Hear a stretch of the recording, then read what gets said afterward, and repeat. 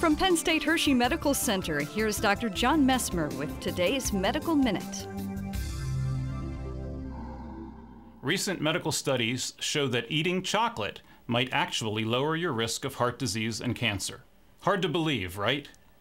Chocolate is made from cocoa beans, which are technically a fruit from the cacao tree. These beans contain flavonoids, a group of diverse chemicals that helps plants repair injury and inhibit bacterial growth.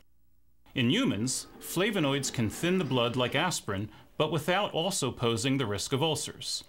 Some flavonoids also work as antioxidants, decreasing our risk of heart disease and cancer and slowing down the aging process. So what's the downside? The benefits only come from regular chocolate. White chocolate has no cocoa in it.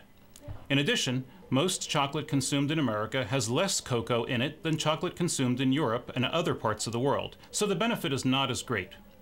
And don't forget, chocolate is high in fat, sugar, and calories, which can contribute to weight gain and increase your risk of diabetes and other diseases.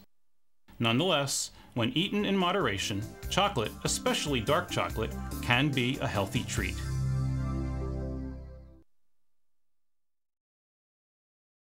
A copy of the program you've just seen can be purchased through Penn State Media Sales at mediasales.psu.edu or by calling 800 770 2111.